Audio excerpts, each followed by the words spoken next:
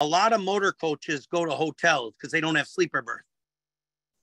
And someone asked a bunch of questions in the guidance request.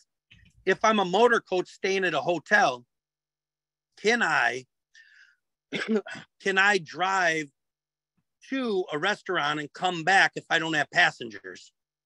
And they're saying yes, it doesn't apply to truckers specifically.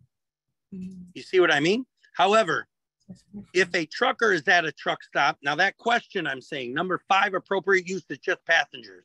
But let's take the same scenario as a trucker, right? As a trucker. Uh-huh. It says in there that you can go to a restaurant and entertainment, right? Uh-huh. While en route lodging. Then in the general paragraph, it says you can use PC even if laden.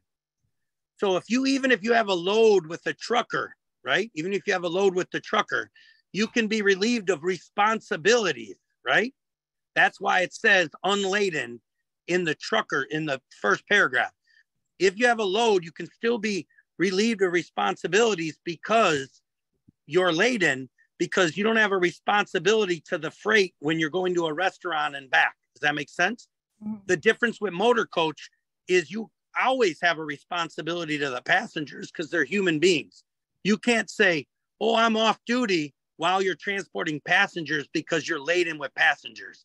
Mm. So the guidance in number 5 is trying to show you a difference between a laden truck being okay and a motor coach with passengers not being okay.